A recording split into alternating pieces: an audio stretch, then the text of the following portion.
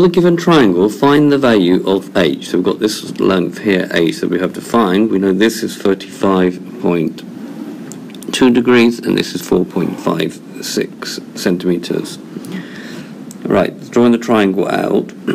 First thing is that you label the sides of the triangle. So this is actually opposite the angle, so we call this side opposite. This side is next to the angle, so we call it adjacent. And the longest side of the triangle is the hypotenuse. So here we have to actually calculate the hypotenuse.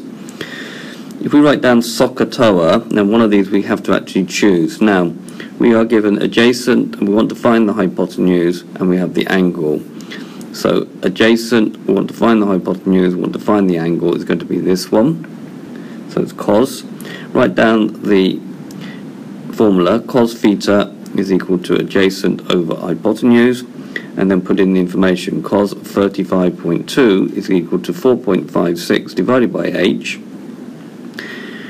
Now, we want to find h, so what we need to do is we need to rearrange this formula a little bit. So if I write down that cos is a over h, using this idea, if I cover up h, then there's going to be a over cos of the angle. So h will be equal to 4.56 divided by cos of 35.2 degrees.